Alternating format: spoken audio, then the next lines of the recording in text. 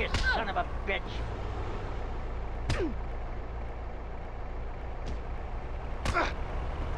I'll take you out. Oh.